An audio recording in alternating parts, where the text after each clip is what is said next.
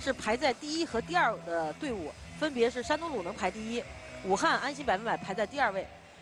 那么第一场的比赛是由刘诗雯对顾若顾若晨，顾若晨呢是一名1994年出生的小将。呃，他们俩呢在前两次就是第一阶段交手的时候呢，刘诗雯赢的也很艰难，三比二的比分战胜顾若晨。那么在半决赛，刘诗雯呢还输给了另外一个小将陈幸同。所以现在呢，到了决赛，正是年轻选手冲击名将的一个最好的时机。我们来看双方第一局。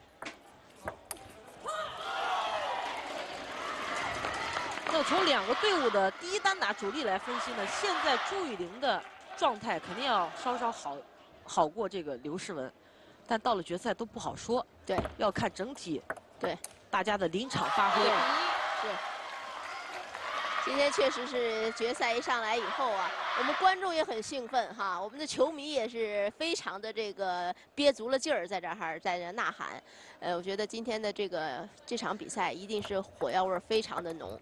呃，在赛前的话呢，我分别呢也跟两个队的这个主教练也也交流了一下，大家呢确实对这场球也充满了信心，也充满了期待。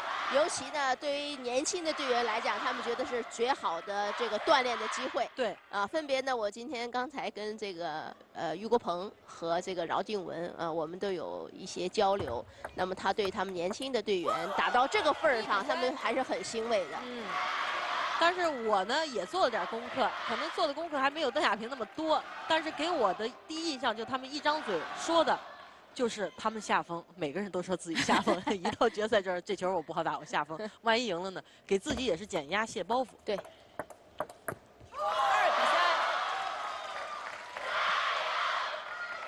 那么从小将顾若晨来看呢，就是他要克服一个决赛的一种紧张的气氛。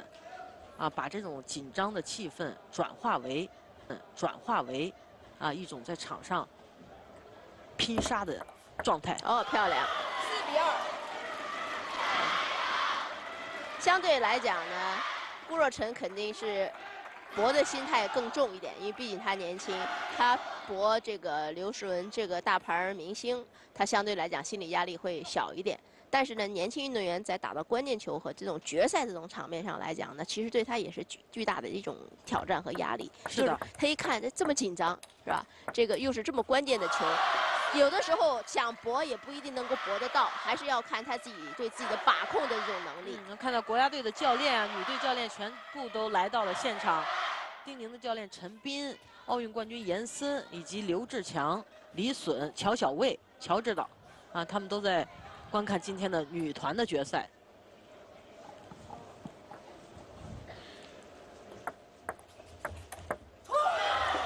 三比五。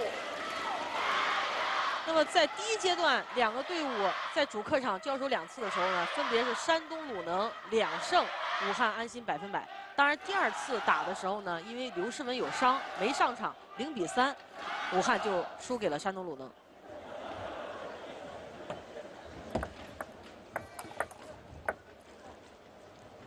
擦网，三比五。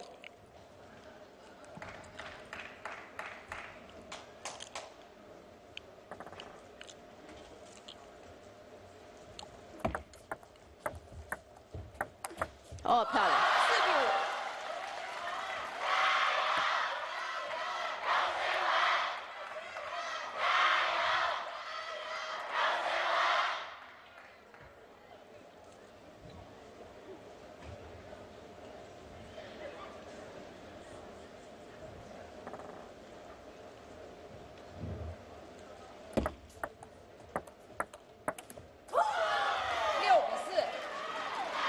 两支队伍呢，实际上他们是，呃，从前天就打完了半决赛，是吧？嗯。那么等于他们准备了将近两天时间，所以姚姚静文呢，有时候跟我发微信的时候啊，他就一直在说，他一直在准备这场球，就时刻在准备着，非常重视。武汉安心百分百，就刘诗雯领衔的这个俱乐部呢，去年他们是乒超的亚军。这是第二年进入乒超那么今年呢他引进了刘诗雯啊以六百九十九万的高价引进刘诗雯看出来他们对冠军的这种渴望。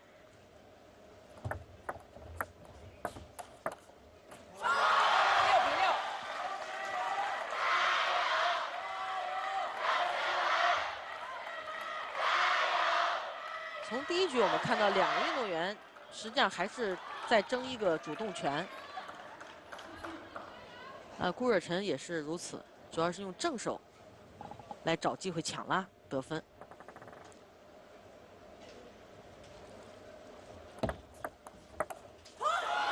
六比七。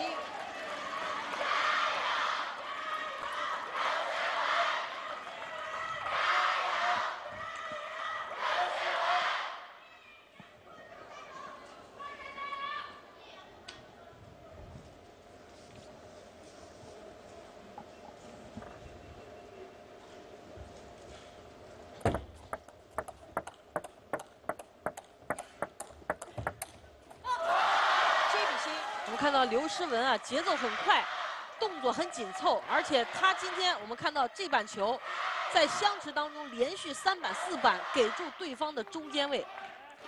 那么也就是说，到了决赛之后，对于运动员来讲，他战术的贯彻是一定非常坚决的，啊，他一点都不变，就是盯住中间，然后自己呢转为进攻。八比七。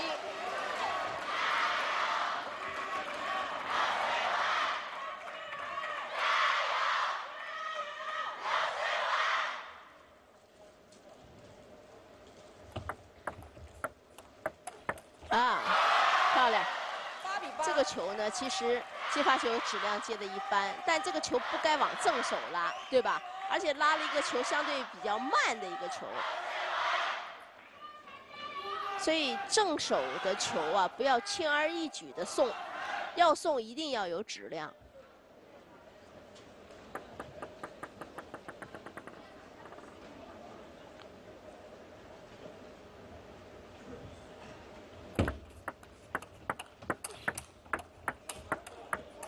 喂，哇，漂亮！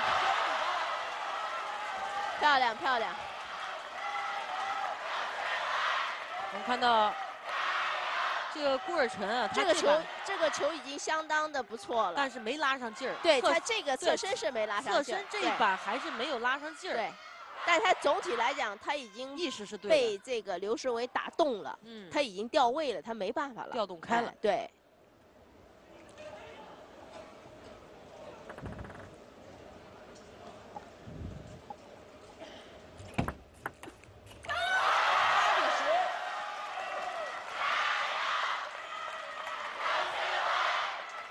是山东鲁能俱乐部。原来呢，这个俱乐部呢有李晓霞、陈梦。李晓霞呢现在没有参加乒超。呃，山东鲁能俱乐部男的有张继科，啊，今年张继科呢也因伤没有打乒超。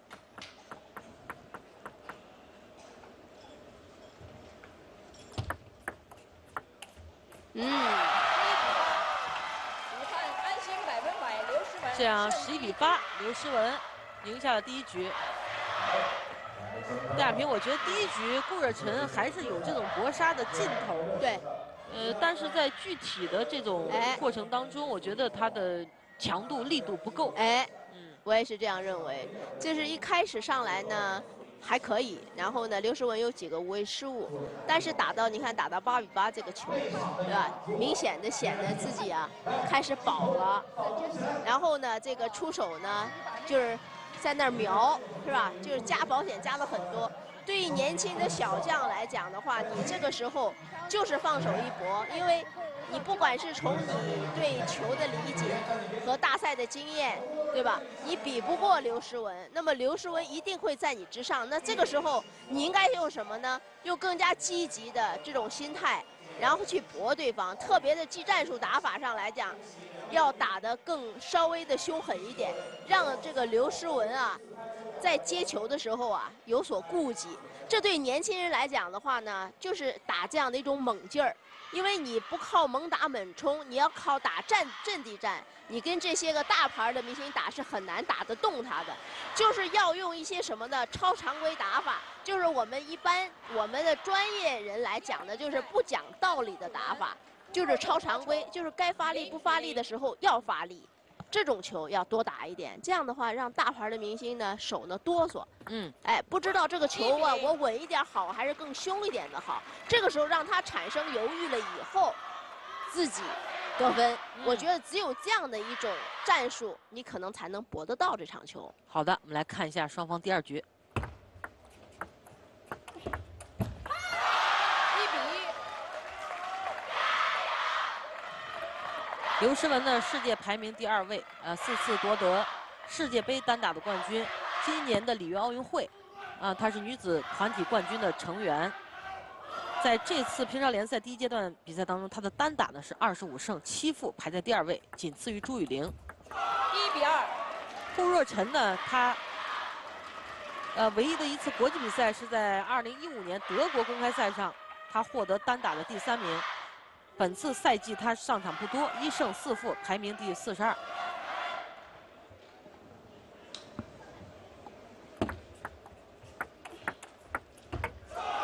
三比一。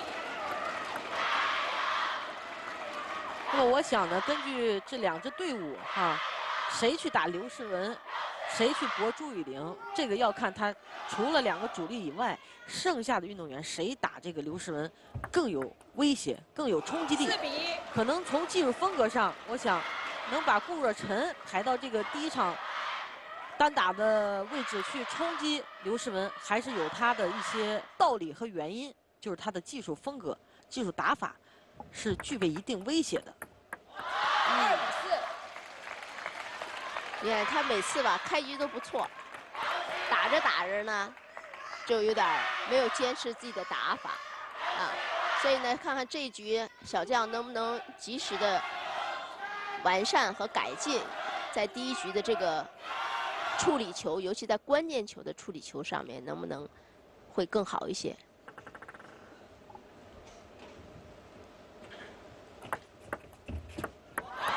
二比五。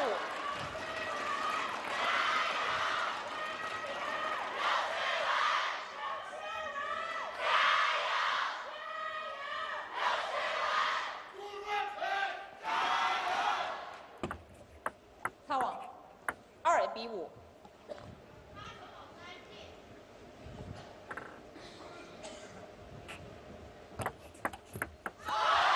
比三。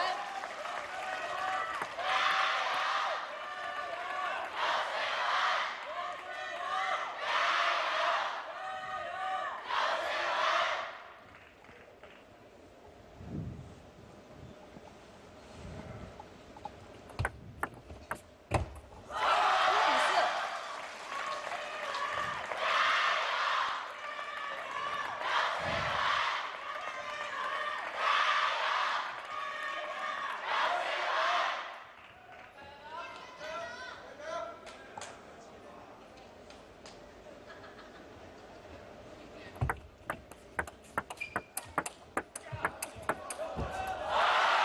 漂亮，这这球漂亮，打的还是不错，非常好。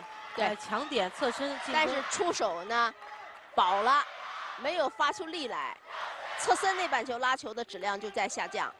还是啊，我感觉啊，顾若晨顾若晨啊，这姑娘啊，正手也不错。还是不够放手，就是现在还没有完全放开你说的意。思就是搏杀需要一搏到底，不是说你前面搏，你后边就保，对是吧？你得一搏到底，必须有搏杀的这种精神，内心要能够完全的对想通。对对，他是搏着搏着，凶着凶着，哎对又又稳了，稳下来了。一对，看有希望就稳了。所以搏杀不是那么容易的，打这个没有道理的球也不是这么容易的，是需要水平的，需要能力的其。实是没有道理中的道理，还是具备一定的道理，他的水平的实力在这儿。相对凶狠。对，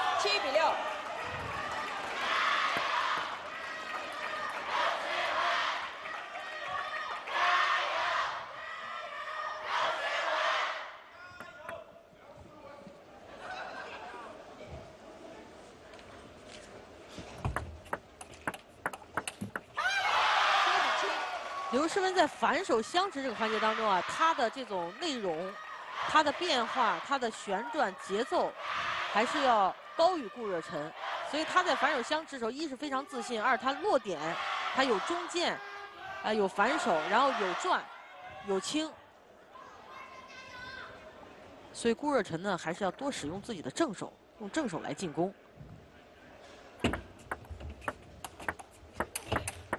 漂亮，七比八，漂亮。这个球啊，这个刘诗雯啊保守了，是吧？第一板斜线，你看，想要变了，但是已经拿两两个斜线球了，对吧？还变晚了。现在这个时候都在加保险，你没看现在的出手哈，都加了不少保险。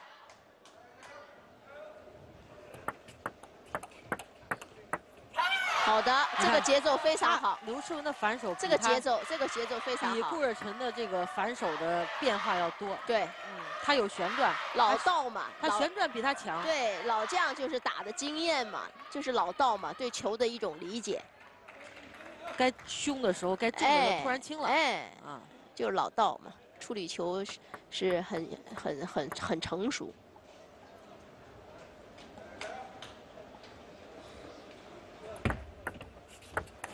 好的，这个球漂亮。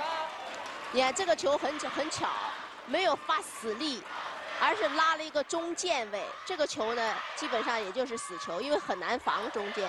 这个球打得很聪明。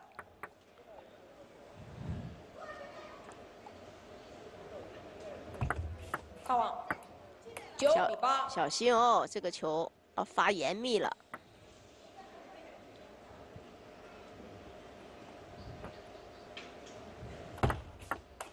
还是出头。哇！刘刘诗雯拉的太正了。哎，这个球对，太正了。对，拉的缺少什么呢？缺少要么你再快点，要么你再慢。突然性。哎，突然性。对。你这个球拉的就是太平淡。对，太匀速了。对，太匀速了。而且落点也不好，正拉的反手位。好，看看刘诗雯这个发球权。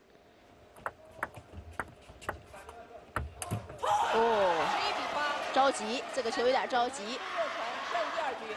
这样十一比八，顾尔辰扳回了一局。双方在这第一场单打的较量当中，前两局打成了一平。也是八比十一哈，也是这个在关键球的处理上，看起来两个人还都是有犯错的这样的一个过程。那我觉得总体来讲的话呢。这个对于小将来讲，今天总体我觉得还发挥的比较正常，呃，打出了自己的应有的这个水平。那么我觉得的话呢，他总体要跟刘诗雯打呢，需要更加的放开一些，出手的时候更果断一点。现在出手我觉得稍稍还是有一点犹豫，或者是有一点保守。所以呢，在出球的质量上来讲，如果你不能够给刘诗雯造成很大的压力，那么刘诗雯的变化比你多，节奏比你多，那么你就会很难受，会被牵制的。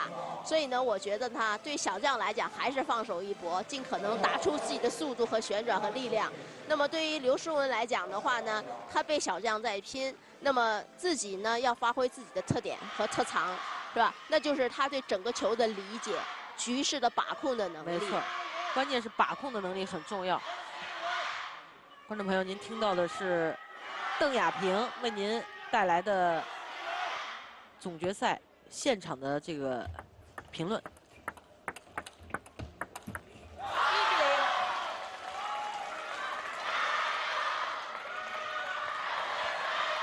我刚才看了一下双方在第一阶段交手的这个比分，刘诗雯是打到决胜局八比六赢的顾热晨。也就是说，顾热晨很接近。呃，打刘诗雯的球呢，他还是有有机会，嗯，有希望。从今天的球看来是有机会，看谁能够更能把握住到关键球的时候，漂亮。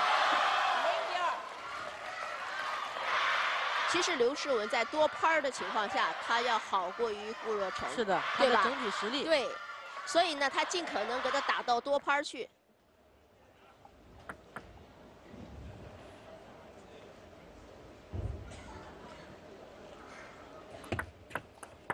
好的。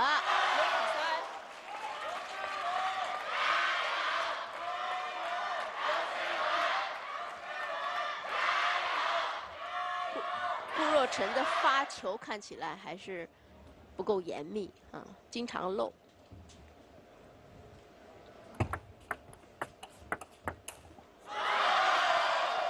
这个球刘诗雯加质量之后顾若晨想侧身顶着球非常顶，对，一拉手是吧？这球就在板边了。嗯。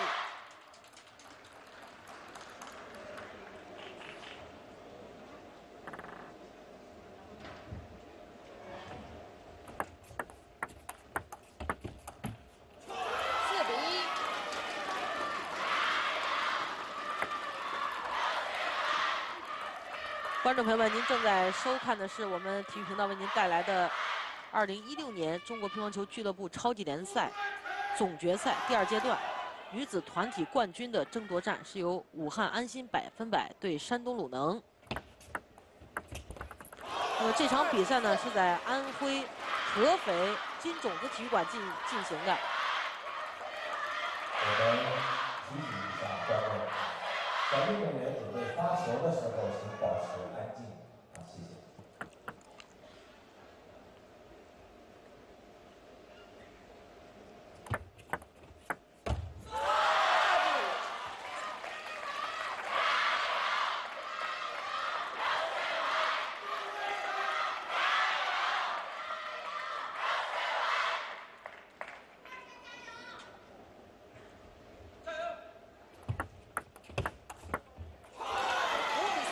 好球！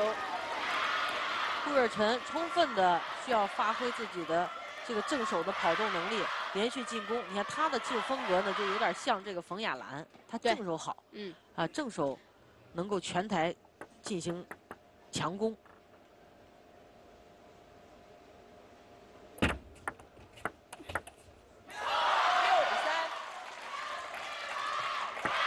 这局啊，我觉得刘诗雯。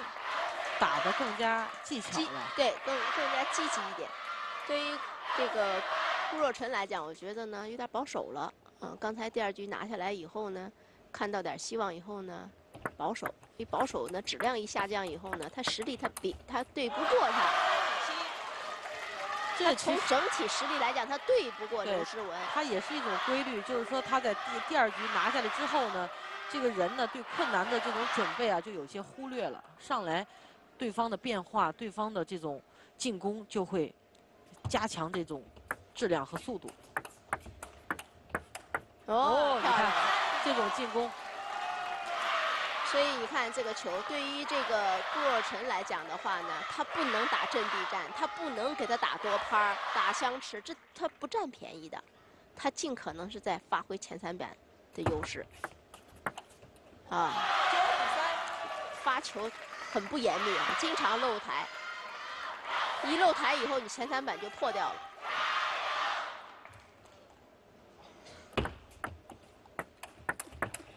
哇，漂亮！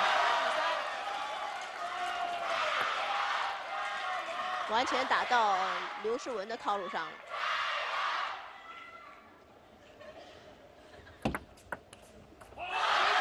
这样十一比三。刘诗雯赢下了第三局，双方在前三局打成了二比一。呃，这一局我觉得刘诗雯啊，毕竟是最顶级的选手。就第二局输掉之后，她很快能够找到对方的破绽，啊，能够加快自己的整个进攻节奏，让对方就没有招架的余地的那样那样一种感觉。对，自己呢，现在他基本上呢知道对手的一个情况，对整个场地的这种适应，我觉得也完全进入了这个比赛的这种状态。那么我觉得打得非常好，只要按照这样的一种节奏打，我觉得应该还是没什么问题。对于这场球，但是对于小将来讲呢，顾若晨我觉得要好好的去总结。那么既然第二局能够拼下来了，第一局呢也还不错，在领先的情况下，结果打到这个八比八后输了，输这个这个输掉了。那么。那么第二局赢了这场球以后，赢了这局以后呢，第三局打的怎么就就完全差的这么大，完全没有打出自己的技战术？就是好的运动员他会很快的应变，知道你对他的一种技战术了以后呢，他也要相应的再去变化。对对。但是对于小将来讲呢，显然这种能力稍稍弱了一点。是。而且呢，我觉得呢，他千万不能想我怎么想要把这场球赢了。而是他不要想赢和输这个事儿，而是要把自己的球全部要发挥出来，就是有更多搏杀的这样的一种念头，就是讲打一些没有道理的球，不讲道理的球出来，就是质量更高。来看一下双方的第四局。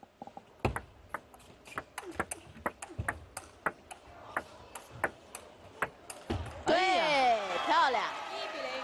乒超联赛总决赛呢是连续进行三天，从十二月的二十九、三十，一直到二零一六年的最后一天，就是今天的三十一号。啊，那么男女团体在第一阶段前四名，在前两天呢分别进行了四场半决赛，今天就将产生男女团的乒超的冠军。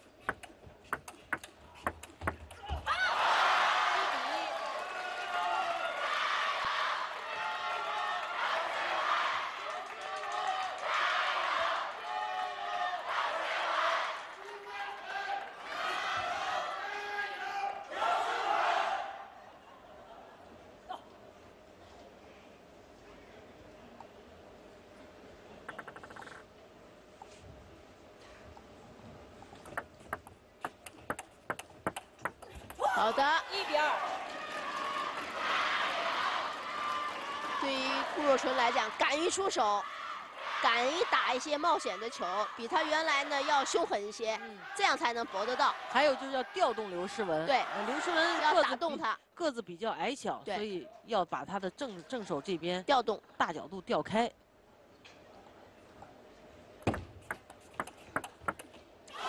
对了，你看这一出质量，刘诗雯她不大站得住呢，这才能够出一些机会。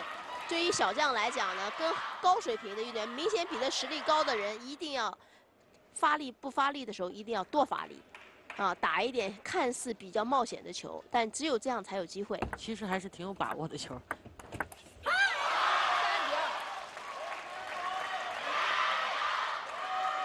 不能保守，保守这场球肯定输。嗯，那么这两天呢，也有来自全国各个方面的热爱乒乓球的球迷朋友来到安徽的合肥，包括到了运动员所居住下榻的酒店，啊，在那个酒店的大堂里啊，就等着这些运动员。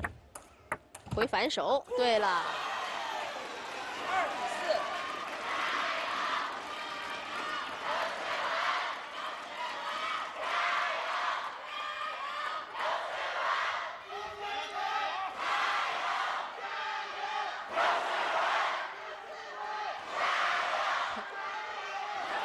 今天这球啊，小将顾热晨还确实值得，或者是说有的一拼，这球嗯，还是有希望的。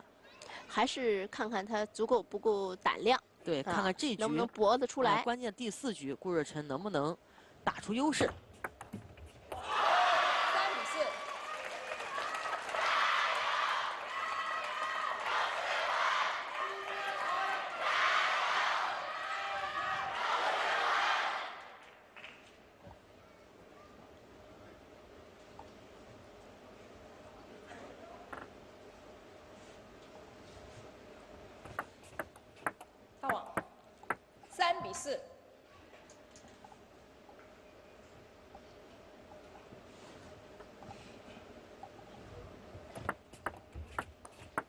啊，好球拉的。这个球拉得很巧，是吧？拉一很轻很短的球，这样的话呢，顾若纯呢就没跟上。这个就是一个好的运动员对比赛的这种阅读的能力啊，该轻的时候轻，可能有时候反打一些逆逆思维的一种球，这个都是对于球的一种理解。好的，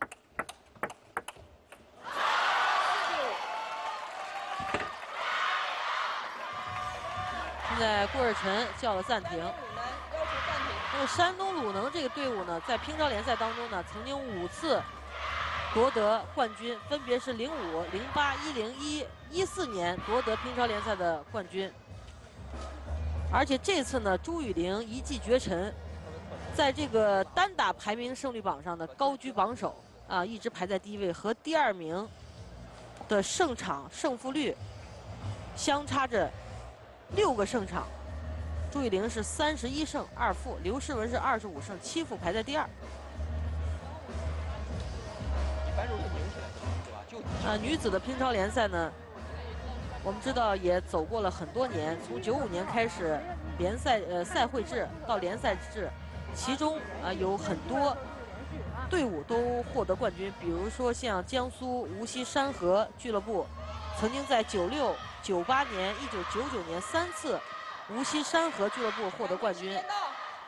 北京，北京的俱乐部也曾经三次获得女子乒超联赛的冠军。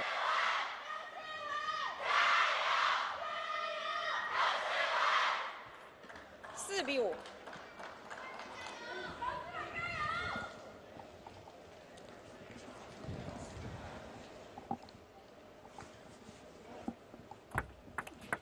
哦，漂亮！五比五。典型的一个嗯发球抢攻，这就是搏杀球，真的是，而且胆子很大，开长了直接侧身反，而且这板球刘诗雯拉的接的质量还是很高的，量很高的、嗯啊，所以她照样以硬碰硬的这种强势进攻。漂亮。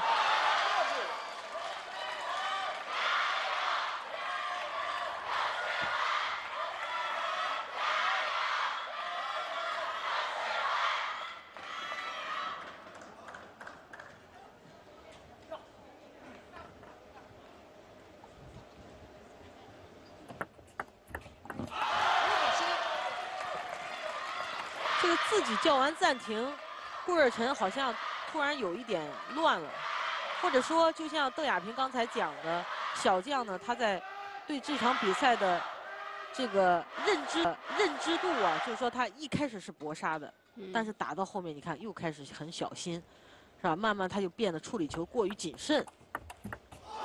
六比七。总体啊，看下来这个顾若晨打球啊不够严密，啊，你看老漏老漏，从发球开始就经常漏，基本上去都是长都是出台球，擦网。六比七。打球的目的性还不够，啊，还需要再精细一些。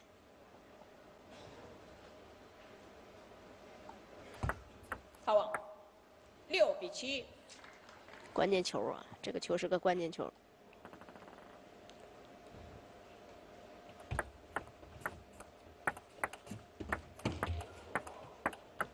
漂亮，七比七。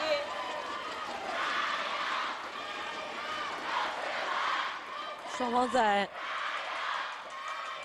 第一次交手啊，在乒超联赛第一阶段啊、也是打到决胜局，看看今天啊还能不能再两人拼到决胜局。现在第四局是打成了七平。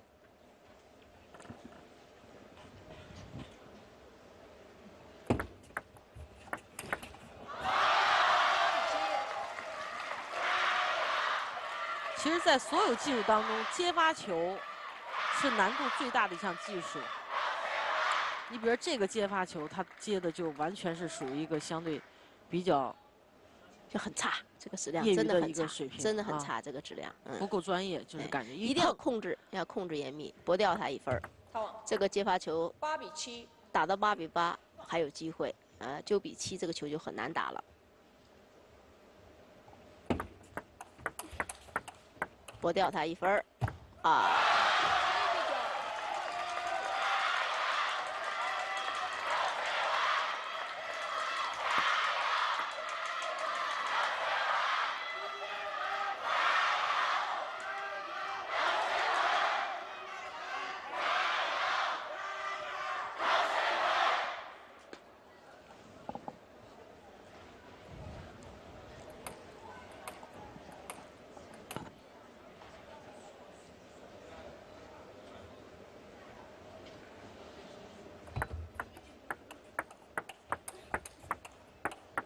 佳丽，漂亮！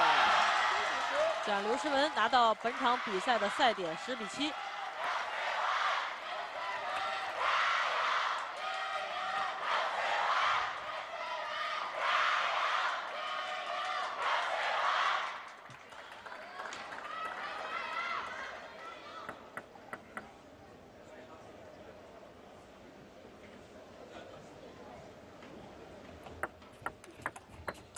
啊。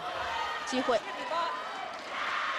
其实第一板球啊挑的非常好，对，嗯，这个球是个机会球很。果断，嗯台内短球其实不容易，不如长球处理的那么简单。短球呢，它要求手腕的发力要集中，前臂收缩要快。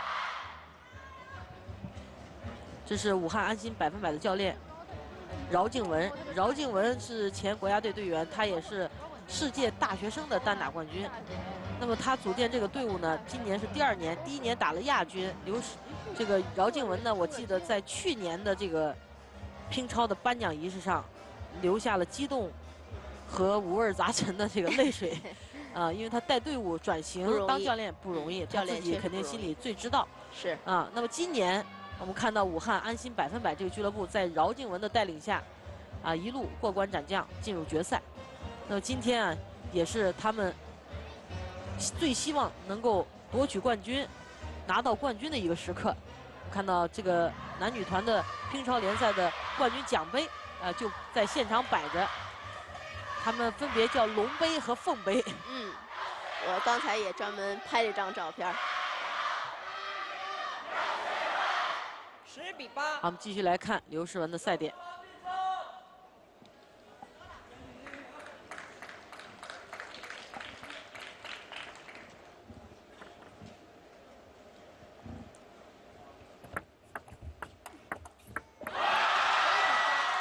这样，刘诗雯正手拉球得分，十一比八，三比一拿下了这场比赛，为武汉安心百分百先拿到了第一场的胜利。